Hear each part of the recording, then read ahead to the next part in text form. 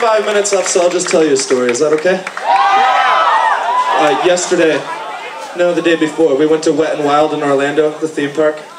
This is a story about a man named Bill Searle. Where is he? All right, never. That's it, back there. Okay, so we're, we're standing in line for this huge water slide, and I, you know, I'm standing there with friends.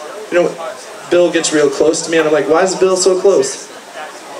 And then Bill peed on my foot, and everyone laughed, and I was the butt of the joke. But uh, thanks, Bill, because I really like people that make other people laugh at me. So uh, thank you guys very much for Hot Rod Circuit, and we're not going to play anymore because uh, shit hit the fan. But we'll see you next time. Thank you.